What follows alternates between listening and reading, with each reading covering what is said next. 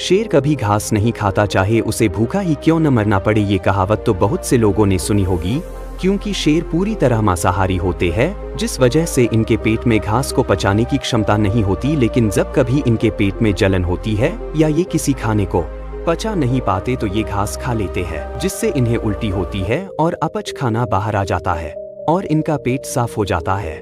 ऐसा ही काम कुत्ते और बिल्ली जैसे